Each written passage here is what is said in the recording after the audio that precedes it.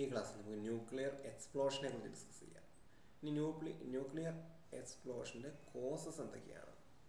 First one accident in reactor നമുക്കറിയാം nuclear reactor എന്ന് പറയുന്നത് ഒരു എനർജി സോഴ്സ് ആയിട്ട് നമ്മൾ ഉപയോഗിക്കുന്നുണ്ട്. ന്യൂക്ലിയർ എനർജീന്റെ അഡ്വാന്റേജ് എന്ന് പറഞ്ഞാൽ വളരെ കുറഞ്ഞ ക്വാണ്ടിറ്റി ഓഫ് ഫ്യൂവലിൽ നിന്ന് ന്യൂക്ലിയർ മെറ്റീരിയലിൽ നിന്ന് വലിയ ക്വാണ്ടിറ്റി ഹീറ്റ് നമുക്ക് പ്രൊഡ്യൂസ് ചെയ്യാൻ പറ്റും. ആ ഹീറ്റ് ഉപയോഗിച്ച് ഹീറ്റ് ഉപയോഗിച്ച് നമുക്ക് എനർജി പ്രൊഡ്യൂസ് ചെയ്യാൻ പറ്റും ഇലക്ട്രിസിറ്റി പ്രൊഡ്യൂസ് ചെയ്യാൻ പറ്റും.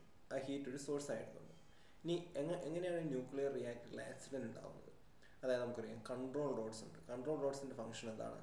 ന്യൂട്രോണിന്റെ ഫ്ലോയെ കൺട്രോൾ ചെയ്യാനാണ്. അപ്പോൾ ന്യൂട്രോണിന്റെ ഫ്ലോ ഒരു ലിമിറ്റ് വിട്ടുപോയാൽ റിയാക്ഷന്റെ റേറ്റ് കൂടിയും അവിടെ ജനറേറ്റ് ചെയ്യുന്ന ടെമ്പറേച്ചർ കൂടിയും അത് റിയാക്ടർ ബേസ്റ്റ് ആവാൻ കാരണമാകും അതാണ് അങ്ങനെയാണ് ന്യൂക്ലിയർ റിയാക്ടറിൽ ആക്സിഡൻസ് ഉണ്ടാകുന്നത് ഇനി അടുത്തത് ആക്സിഡന്റ് ഇൻ ട്രാൻസ്പോർട്ടേഷൻ നമുക്കറിയാം nuclear റിയാക്ടറിലെ fuel nuclear fuel uranium thorium പോലത്തെ ഫ്യൂവൽ ട്രാൻസ്പോർട്ടേഷൻ അത് ട്രാൻസ്പോർട്ടേഷൻ നടത്തുമ്പോൾ ഉണ്ടാകുന്ന മൈനർ ലീക്കേജ് വളരെ തിക്കായ കണ്ടെയ്നേഴ്സിലായിരിക്കും അത് ട്രാൻസ്പോർട്ടേഷൻ നടത്തുക.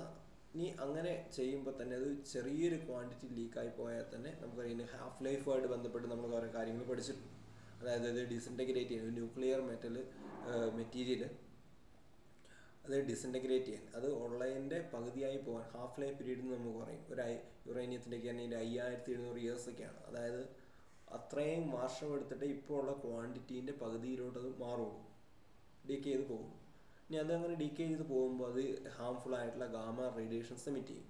അപ്പം അതുകൊണ്ട് ഈ ഇതൊക്കെ സംഭവിക്കുന്നത് ലീക്കേജ് ഒക്കെ സംഭവിക്കുന്നത് സാധാരണ ട്രാൻസ്പോർട്ടേഷനിൽ സംഭവിക്കാൻ സാധ്യതയുണ്ട്. അങ്ങനെയാണ് ന്യൂക്ലിയർ എക്സ്പ്ലോഷന് കാരണമാകുക ഇനി യൂസ് ആസ് വെപ്പൺ ന്യൂക്ലിയർ വെപ്പണിന്റെ ഉപയോഗം. അതായത് ഇപ്പോൾ നമ്മൾ അണുവായുധം പിന്നെ ആരും പ്രോത്സാഹിപ്പിക്കുന്നില്ല. അതിന് ഇന്റർനാഷണൽ ലെവലിൽ തന്നെ വൻ എതിർപ്പുകളൊക്കെ ഉണ്ട്. ന്യൂക്ലിയർ ടെസ്റ്റുകൾ കണ്ടക്ട് ചെയ്യുന്നതിനും എതിർപ്പുകളൊക്കെ ഉണ്ട്. നമുക്കറിയാം ഹിറോഷിമയിലും നാഗസാക്കിയിലൊക്കെ സംഭവിച്ചത്. ഇപ്പോഴും അതിന്റെ എഫക്റ്റിൽ അത് നാൽപ്പത് ആയിരത്തി തൊള്ളായിരത്തി നാൽപ്പത്തഞ്ചിലൊക്കെ നടന്നെങ്കിലും അതിന്റെ ഇപ്പോഴും അതിന്റെ ഫലങ്ങൾ അനുഭവിച്ചുകൊണ്ട് കഴിയുന്ന ആൾക്കാരെ നമുക്കറിയാം.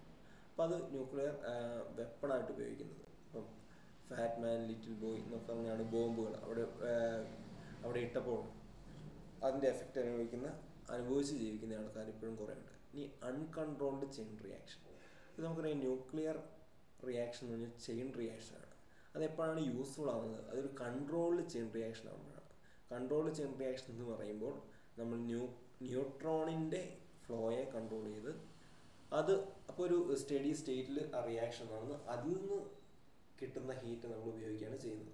ഇനി അത് അൺകൺട്രോൾഡ് ആകുമ്പോൾ എന്താ പറ്റുക? എക്സ്ട്രീം ടെമ്പറേച്ചർ റൈസ് ഉണ്ടാവുകയും അത് ആ ന്യൂക്ലിയർ റിയാക്ടർ തന്നെ ബേസ്റ്റ് ആവാൻ കാരണമാവുകയും അങ്ങനെ ന്യൂക്ലിയർ റിയാക്ടർ ബേസ്റ്റ് ആയി നമുക്കറിയാം ചുറ്റും വാട്ടർ ബോഡീസോ ഒക്കെ ഉണ്ടാവും. പിന്നെ അന്തരീക്ഷത്തിലോട്ട് റേഡിയേഷൻസ് റേഡിയേഷൻസ് അന്തരീക്ഷത്തിലെത്തും. അത് അവിടെയുള്ള ജീവജാലങ്ങളെയൊക്കെ ബാധിക്കും. അപ്പം ഇത്രയും കാര്യങ്ങളാണ് ന്യൂക്ലിയർ എക്സ്പ്ലോഷനെ കോസ് ആയിട്ട് പറയാനുള്ളത്. ഇനി അടുത്തത് എങ്ങനെയാണ് ന്യൂക്ലിയർ മെൽറ്റ് ഡൗൺ ഉണ്ടാവുക? ന്യൂക്ലിയർ മെൽറ്റ് ഡൗൺ അതായത് റിയാക്ടർ മെൽറ്റ് ഡൗൺ ആണ് എങ്ങനെയാണ്. നമുക്കറിയാം റിയാക്ടർ എന്ന് പറയുന്നത് ഈ റേഡിയേഷനെ പ്രിവെന്റ് ചെയ്യാൻ വേണ്ടിയിട്ട് അതിന്റെ വാൾ സ്റ്റീൽ ഉണ്ടാവും. സ്റ്റീൽ പ്ലസ് തിക്ക് കോൺക്രീറ്റ് ഉണ്ടാവും. നല്ല തിക്ക് കോൺക്രീറ്റ് സ്ട്രക്ചർ ആയിരിക്കും. ഇനി എങ്ങനെയാണ് ഇത് മെൽറ്റ് ഡൗൺ അതായത് ബേസ്റ്റ് ആവോ റിയാക്ടർ എങ്ങനെയാണ് ബേസ്റ്റ് ആവുക എന്ന് നോക്കാം. ഇനി ഫസ്റ്റ് ടെമ്പറേച്ചർ കൂടുക അതായത് ന്യൂക്ലിയർ റിയാക്ടറിൽ പ്രൊഡ്യൂസ് ചെയ്യുന്ന ടെമ്പറേച്ചർ കൂടുക. അതിന് പല കാരണങ്ങളുണ്ടാവുക കാരണങ്ങളിലോട്ട് നമുക്ക് വരാം. അപ്പം ഇതിനൊരു കാരണം എന്ന് പറയുന്നത് കൺട്രോൾ റോഡ്സ് ഓവറായിട്ട് ലിഫ്റ്റ് ചെയ്യുന്നതാണ്. അപ്പോൾ കൺട്രോൾ റോഡ്സ് ഞാൻ പറഞ്ഞു നമ്മുടെ ന്യൂട്രോണിന്റെ ഫ്ലോയെ കൺട്രോൾ ചെയ്യാനും കൺട്രോൾ റോഡ്സ് ഉപയോഗിക്കുന്നത്.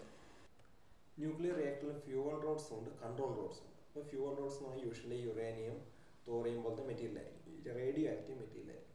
അപ്പോൾ ഈ കൺട്രോൾ റോഡ്സ് ഒരു പരിധി വിട്ട് ലിഫ്റ്റ് ചെയ്ത് കഴിഞ്ഞാൽ ന്യൂട്രോണിന്റെ ഫ്ലോ കൂടുകയും അത് റിയാക്ഷന്റെ റേറ്റ് കൂടാനും കാരണമാകും റിയാക്ഷൻ റേറ്റ് കൂടുമ്പോൾ സ്വാഭാവികമായിട്ട് അവിടെ ഉണ്ടാകുന്ന ഹീറ്റ് തെർമൽ എനർജി കൂടും.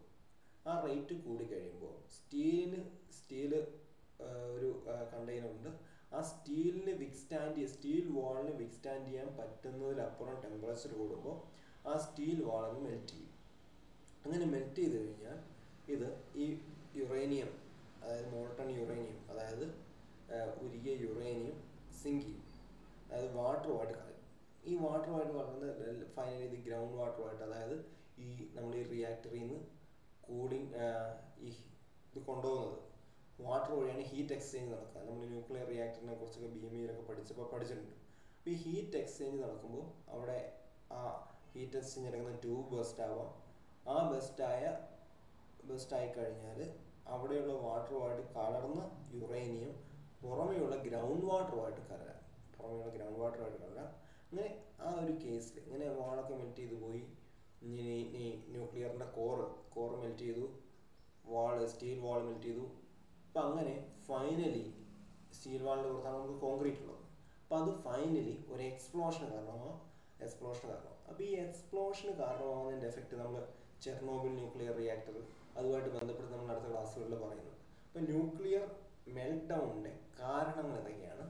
ന്യൂക്ലിയർ എക്സ്പ്ലോഷന്റെ കോസുകൾ പറഞ്ഞു ന്യൂക്ലിയർ മെൽറ്റ് ഡൗണിന്റെ കാരണങ്ങൾ പറഞ്ഞു ഈ മെൽറ്റ് ഡൗൺ ആണ് എക്സ്പ്ലോഷന് കാരണമാണ് ന്യൂക്ലിയർ മെൽറ്റ് ഡൗൺ ആണ് ന്യൂക്ലിയർ എക്സ്പ്ലോഷന് കാരണമാണ് ഓക്കെ താങ്ക് യു.